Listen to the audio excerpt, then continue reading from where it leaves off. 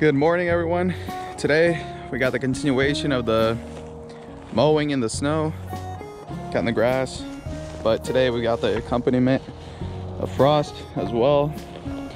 Uh, interesting thing is that actually when you're cutting grass, uh, frozen grass is a little easier to cut than wet grass or, well yeah, compared to wet grass, it's a lot easier to cut.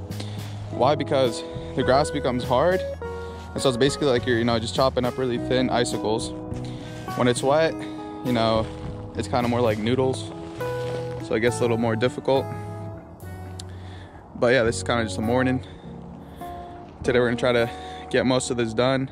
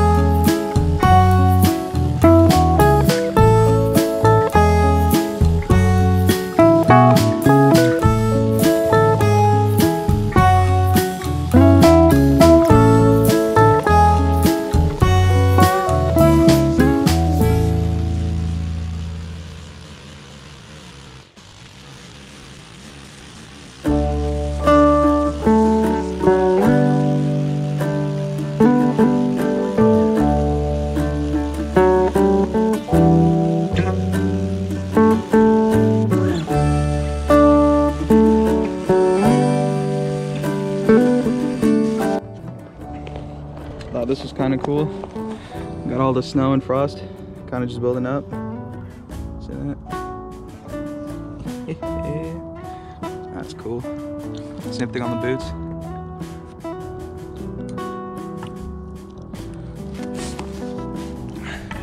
Wow. That's clean, dude. That's pretty clean.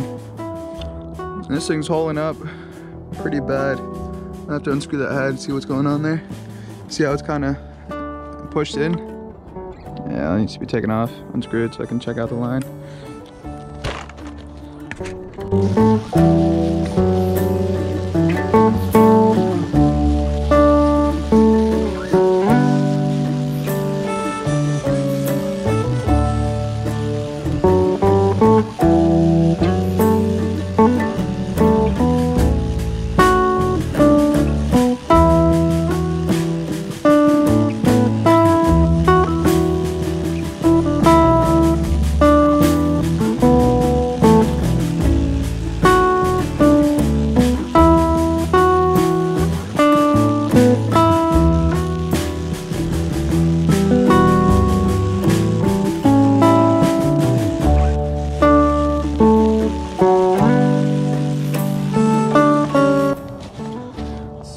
This one, no, it's this one.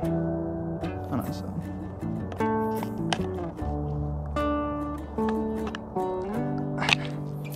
Wow, look at that. I don't know if you can see that. All that buildup that needs to be cleaned out right there. Um,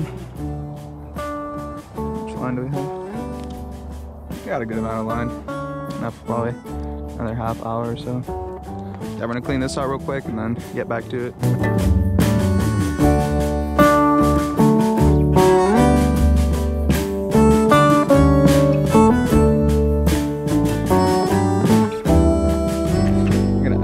Fuel.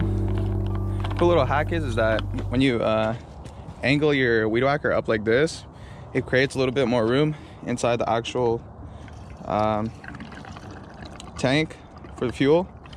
So you can squeeze in a little bit more. I don't know how much, but minute wise, it's probably like extra five, 10 minutes. But since it's colder today, you're probably gonna get a little bit more.